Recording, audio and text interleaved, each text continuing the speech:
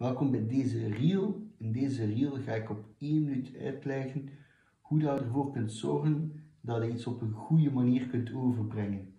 De grootste fout dat mensen maken, is hier, je wilt iets vertellen en je vertelt dat rechtstreeks. Ik help veel mensen om te stoppen met drinken.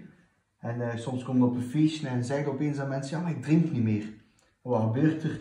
Mensen zijn niet voorbereid, mensen gaan daarop in. waarom doe je dat niet? waarom uh, drinkt je niet? Uh, je kunt er eentje drinken.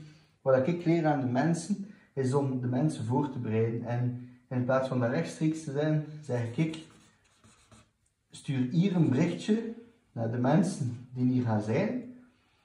En dan heb je eigenlijk, krijg je eigenlijk tijd, zodat die mensen dat kunnen verwerken.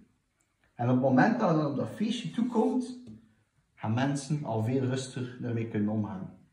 Zeker te doen.